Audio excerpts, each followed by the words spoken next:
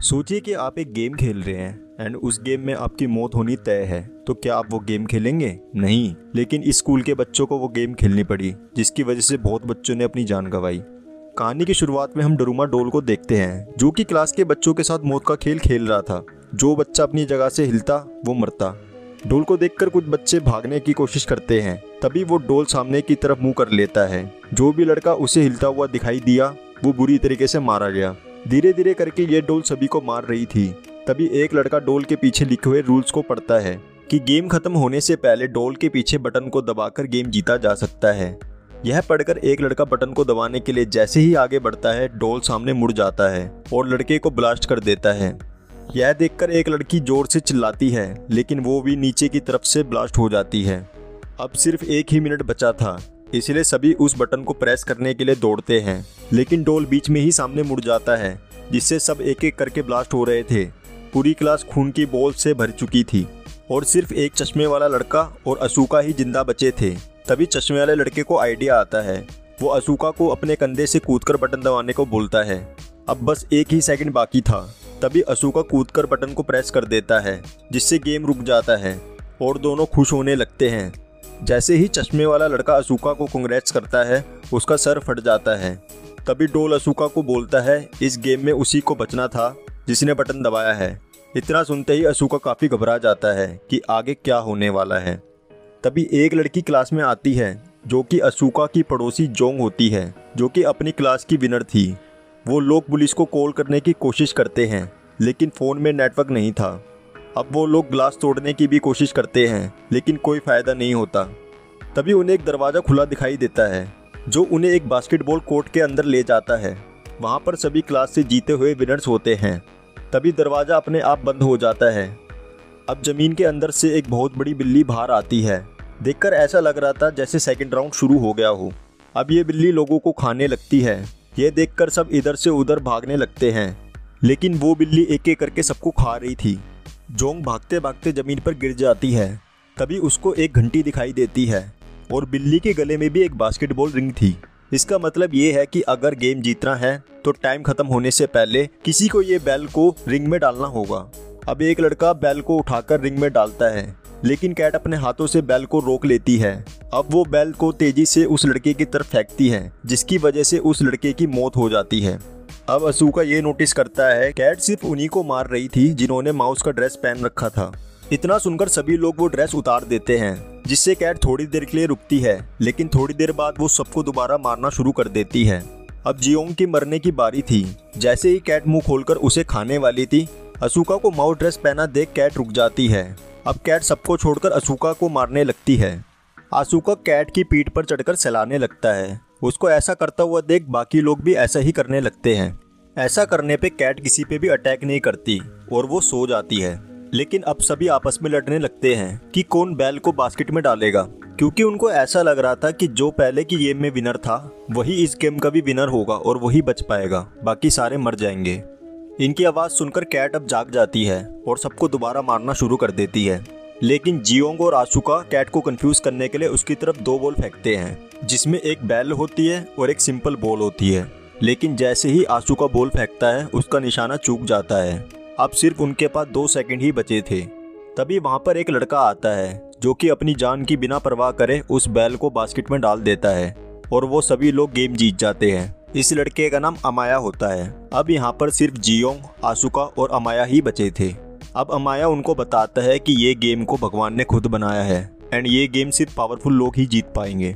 इतने में कैट अपने मुँह से धुआँ निकाल देती है, जिसकी वजह से सब बेहोश हो जाते हैं। अब जब उनकी आँख खुलती है तो उनको रियलाइज़ होता है कि अभी भी गेम चल रहा है, तभी उनके सामने स्क्रीन आती है, जिसमें लिखा हुआ था चाबियों को ढूंढो, तभी तुम बाहर जा पाओगे। तभी चार डोल्स वहाँ पर आती है और वो उनको गेम का रूल बताती है कि तुम्हें आँखों पे पट्टी बांधकर एक जगह पे बैठना है और हम चारों तुम्हारे चारों तरफ़ घूम के गाना गाएँगी। एंड जैसे ही गाना खत्म होगा, तुमको तुम्हारे पीछे खड़ी हुई डोल का नाम बताना होगा। एंड अगर तुमने गलत आंसर दिया तो तुम वहीं पे मर जाओगे। अब वो एक लड़के को चूज़ करते हैं, लेकिन वो लड़का गलत आंसर देता है, जिसकी वजह से उसकी मौत हो जाती है। अब दूसरी बारी एक लड़की की थी, लेकिन लड़की भी गलत आंसर दे देती है, जिसकी वजह से उसको भी मरना पड़ जाता है। लेकिन अब बारी आसुका की थी। अब वो आसुका को बीच में बिठाकर उसके चारों तरफ़ घूमने लगती है। अब साउंड खत्म होने पर उससे डोल का नाम पूछा जाता है, एंड आसुका कुछ भी जवाब नहीं देता। तभी आवाज़ आती है, टाइम अप। अब पीछे वाली डोल कहती है, तुम मरने के लिए तैयार हो जाओ, क्योंकि तुमने टाइम के अंदर सही जवाब नहीं दिया। अब आसुका उस डोल की आवाज़ सुनकर उसका नाम ले देता है, लेकिन उस पर चारों डोल हंसने लगती है कि अब जवाब देने का कोई फ़ायदा नहीं है। तभी आसुका उन डोल को बताता है कि टाइम अप होने की आवाज़ उसके फ़ोन से आ रही थी। यानी कि जब पहले दो लोगों के साथ जब वो गेम खेला गया था तो आसुका ने वो आवाज़ रिकॉर्ड कर ली थी। अब आसुका उनको बताता है कि मेरे पास अभी भी टाइम बचा हुआ है, और उसने सही डोल का सही नाम लिया है, इसलिए वो गेम जीत चुका है। इतना सुनते ही चारों डोल वहीं पे ब्लास्ट हो जाती है, एंड वो कीज लेके बाहर आ जाते हैं। बाहर आकर उन्हें एक लड़का दिखाई देता है एंड वो लड़का भागते हुए उनके पास आ रहा था, और उस लड़के के पीछे एक भयानक सी डोल पड़ी हुई थी। अब वो लड़का उनको बताता है कि जल्दी से एक दूसरे का हाथ पकड़ लो, जिसकी वजह से वो डोल तुम्हारे को कुछ नहीं कहेगी। इतने में जियोंग भी वहाँ पर आ जाती है तो वो लोग दूसरे कमरे में जाते हैं, जहाँ उन्हें दो लड़के मिलते हैं। वो लड़के उनको बताते हैं कि हमें गेम जीतने के लिए सात कीज की ज़रूरत है, तभी हम यहाँ से बाहर निकल पाएँगे। लेकिन उनके पास सिर्फ़ चार कीज होती है। इतने में तीन कीज लेके अमाया भी वहाँ पर पहुँच जाता है। देखने में ऐसा लग रहा था कि अमाया इस स्कूल का सबसे स्मार्ट स्टूडेंट है। अमाया एक लड़के के साथ अंदर आया था एंड अंदर आते के साथ अमाया उस लड़के को मार देता है। अब वो कीज होल के अंदर लगा देते हैं। तभी उनको एक आवाज़ आती है कि आप अपने कपड़े चेंज कर लीजिए एंड जैसे ही वो अपने कपड़े चेंज करते हैं, वो एक जगह पे आ जाते हैं। तभी इनके सामने एक वाइट बियर आता है, जो कि इनको ट्रूथ एंड डेयर गेम खेलने के लिए बोलता है। इस गेम का रूल ये था, जब तक आप सही जवाब दोगे, तब तक आप बचे रहोगे। एंड जैसे ही आपने गलत जवाब दिया, ये भालू आपको मार देगा। अब वो भालू उनसे पहला क्वेश्चन पूछता है, जो कि था, आप सबका फेवरेट फ़ूड क्या है? एंड सब लोग अपने फेवरेट फ़ूड का जवाब दे देते हैं। लेकिन भालू गुस्सा करते हुए बोलता है कि तुम में से कोई ना कोई तो झूठ बोल रहा है। थोड़ा सोचने के बाद वो सब उस लड़के की तरफ़ इशारा कर देते हैं, जिस लड़के के पीछे वो डोल भागती हुई आई थी। लेकिन वो लड़का बोलता है कि मैंने सब सच बोला है। लेकिन वो भालू उसको जान से मार देता है। अब वो भालू उनसे दूसरा सवाल पूछता है, क्या तुम सबको भालू पसंद है? जिसके आंसर में सभी यस बोलते हैं एंड ये आंसर सुन के भालू काफ़ी ज़्यादा नाराज़ हो जाता है, और बोलता है कि इस बार भी कोई झूठ बोल रहा है। इस बार सभी लोग एक लड़की को टारगेट करते हैं कि वो झूठ बोल रही है, लेकिन वो लड़की बोलती है कि मैं सच बोल रही हूँ, लेकिन कोई भी उसकी बात नहीं मानता, जिसके कारण वो भालू उस लड़की को मार देता है। ये सारी चीज़ें आँसू का नोटिस कर रहा होता है। एंड उसको पता चल जाता है कि इन सब में से झूठ कौन बोल रहा है।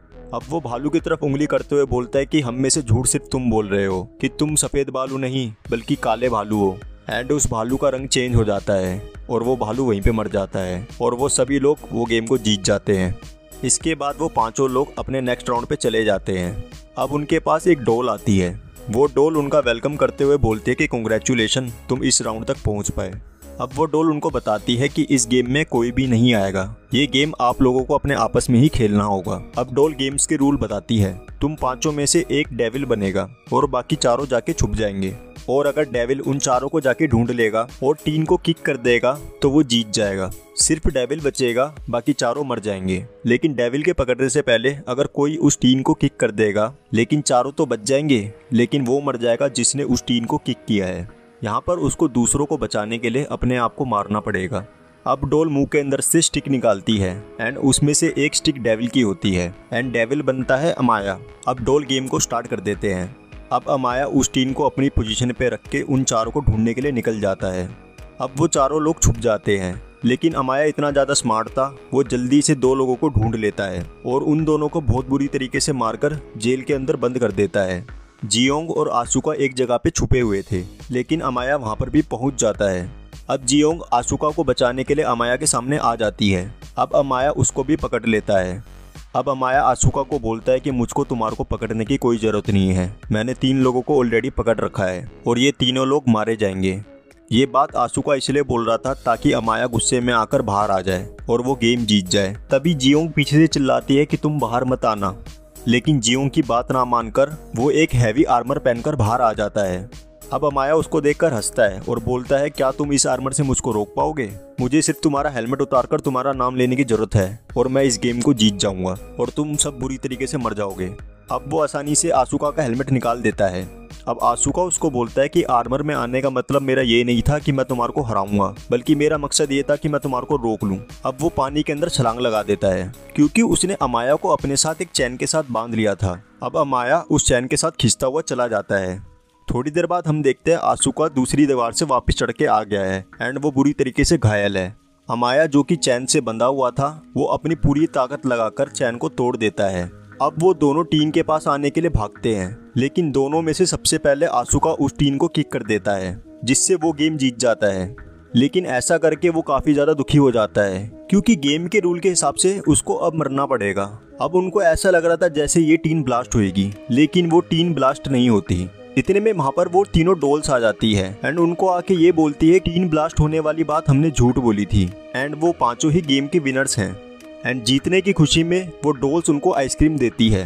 अब वो डोल्स उन सभी को बोलती है कि अब आप लोग अपनी लाइफ में वापस जा पाओगे। ये सुनकर सभी लोग काफ़ी ज़्यादा खुश हो रहे थे।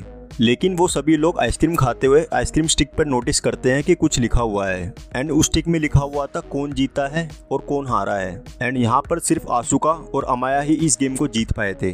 अब वो डोल उन सभी को बताती है कि ये गेम सिर्फ़ वही जीत पाया है। जिसके पास पावर भी था और लक भी था, जो कि अमाया और आसुका के पास ही था। अब वो बाकी तीनों लोग मारे जाते हैं, जिसमें जियोंग भी थी। अब वो तीनों डोल उस गेम का नाम देती है द गेम ऑफ़ लक ये देखकर अमाया तो काफ़ी खुश था, लेकिन आँसू का काफ़ी ज़्यादा दुखी था। अब उन दोनों को गोल्ड क्यूब से बाहर लाया जाता है, जहाँ पर काफ़ी सारे लोग थे, जो कि उनको देख के काफ़ी ज़्यादा खुश हो रहे थे। एक को एंजल और एक को डेविल का नाम दिया जाता है। एंड इसी के साथ ये मूवी यहीं पे दी एंड हो जाती है। अगर आपको वीडियो अच्छी लगी हो तो कमेंट में बताइए। आगे की आने वाली वीडियोस के लिए हमारे चैनल को सब्सक्राइब करिए। मिलेंगे आपसे अगली वीडियो में। तब तक के लिए बहुत बहुत धन्यवाद।